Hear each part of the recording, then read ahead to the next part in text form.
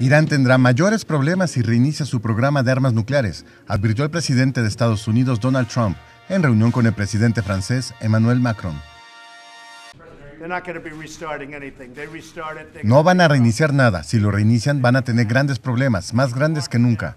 Cuando se le preguntó si estaría dispuesto a permanecer en el acuerdo JCPOA con Irán, Trump lo calificó de loco, ridículo y que nunca debería haberse establecido. Además, culpó a Teherán por su supuesta participación en la inestabilidad en Medio Oriente. El trato con Irán es un desastre. Están probando misiles.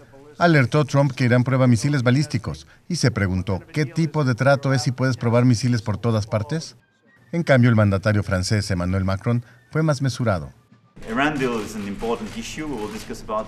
El trato con Irán es un tema importante. Discutiremos sobre eso, pero tenemos que tomarlo como parte de un contexto más amplio, que es la seguridad en toda la región.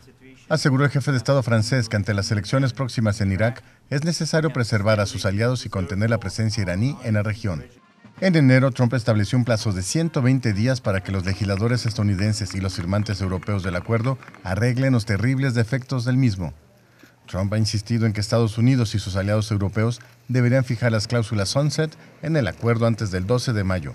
De lo contrario, se retiraría del acuerdo. Con información de la oficina en Washington, D.C., Estados Unidos, Noticias Xinhua.